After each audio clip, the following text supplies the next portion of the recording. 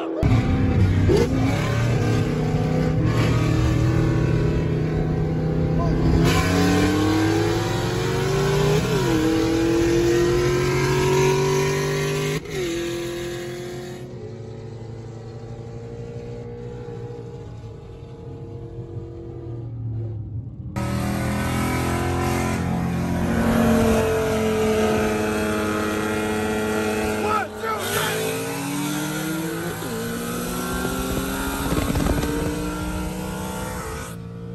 Steven